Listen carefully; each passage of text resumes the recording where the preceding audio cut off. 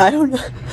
I don't know what to do. I have no answers. They're kicking me out of my hotel room because I asked them to wear an N95 mask. And they said that if I wanted that, I was at the wrong hotel and I had an hour to leave.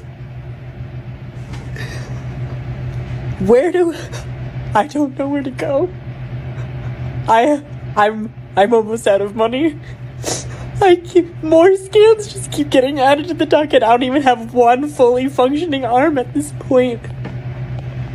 Where do I My mom isn't answering the phone. It's not like we were strange. I literally because she was super abusive, but